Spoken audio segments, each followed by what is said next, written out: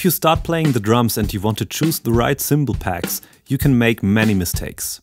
In this comparison video, we want to give you an overview of the most common cymbal packs which cost between 2 and 300 euros. In order to provide you with the most neutral sound, we tested every cymbal pack with the same microphone setup and no EQ within the overheads. We asked the cymbal companies to send us brand new cymbals in unopened packages to make sure that we test the same cymbals you would receive. We hope to give you the best possible comparison examples so that you can choose which cymbal setup fits your style the most.